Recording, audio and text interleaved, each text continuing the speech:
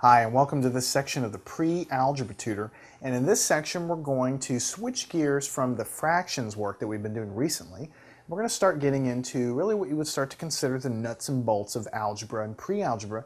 That's when we start talking about variables uh, and expressions, and later on we'll get into equations and other things that you typically think of when you think of algebra. But we have to crawl before we can walk. And actually, believe it or not, in some previous sections, I've sort of already introduced you to this a little bit as we've gone along here uh, with some of these concepts.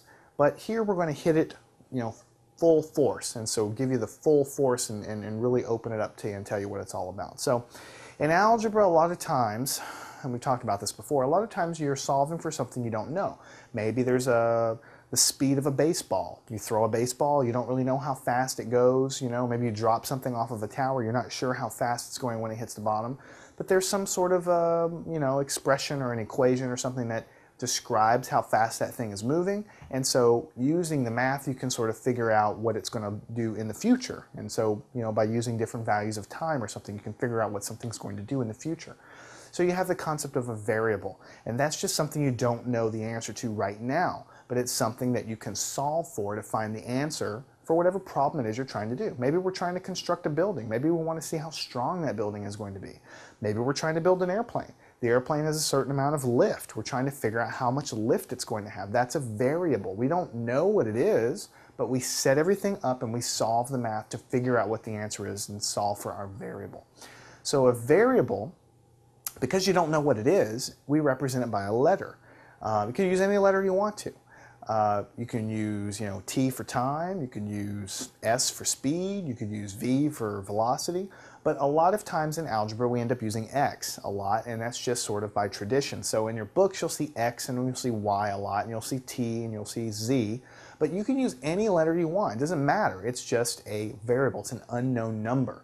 But just remember, every time you see one of those letters, it's just a number that you don't know the answer to yet. So this section we're going to start dealing with what we call expressions, uh, which are just uh, you know things that we write down in algebra that involve variables. So let's get right into that. If I gave you an expression, and don't let the term expression bug you, it just means something we're writing down in terms of algebra.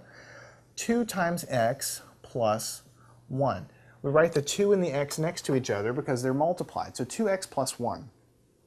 Now what if I told you if uh, x is equal to 1, then what would this be uh, equal to? In other words, here is something involving an unknown number.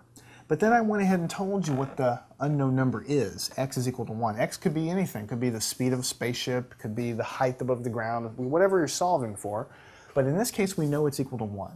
So what you do is you just take it and you just plug it right back into its position in this little expression here. So we have 2 times x, but x is equal to 1. So we substitute the 1, and then we have to add 1 at the end. Now here's where your knowledge of order of operations comes. We know we have to do multiplication first, so 2 times 1 is 2, and we still have to add this 1. 2 plus 1 is 3, and that's the answer. So in this section, we're going to be doing problems of this type, just to drill it home to you. You're given an algebraic expression. This is the thing with the variable, and I'm giving you the answer. I'm telling you what the variable is equal to. You need to calculate what the mat, you know, what the final answer will be, given that you know what the variable is equal to. And that's really all we're going to do in this section, just to get you comfortable seeing some expressions uh, and so on. What if you had 2x plus 1, so same expression, but x is now